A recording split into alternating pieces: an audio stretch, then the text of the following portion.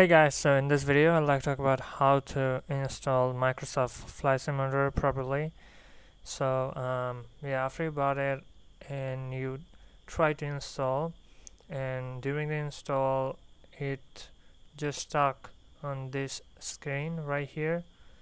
Um, it's a 60 gigabytes game and it's stuck on 118 megabytes. So how you fix this kind of problem? So in order to fix this kind of problem, make sure you have the updated Windows and updated everything. Um, second thing, which is really important, is to make sure you have the Xbox app.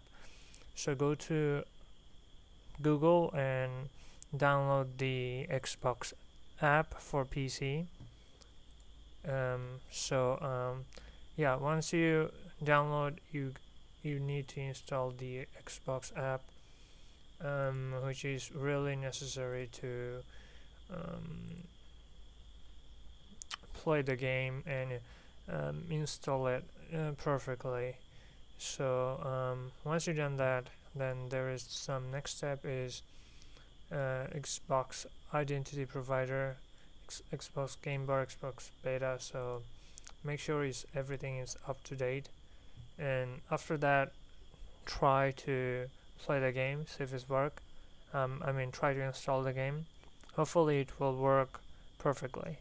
So um, yeah that's basically it guys. Thanks for watching and hopefully this video has helped you. Uh, if it does do subscribe. And if you have any problem comment below. Thanks for watching. Have a nice day